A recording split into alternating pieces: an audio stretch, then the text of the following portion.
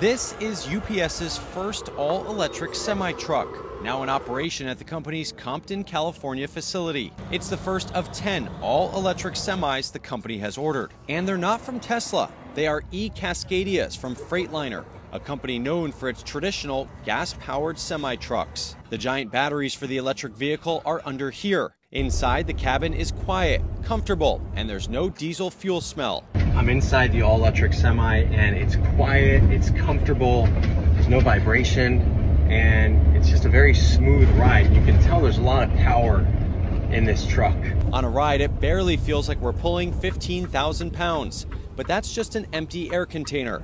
The truck can handle up to 80,000 pounds,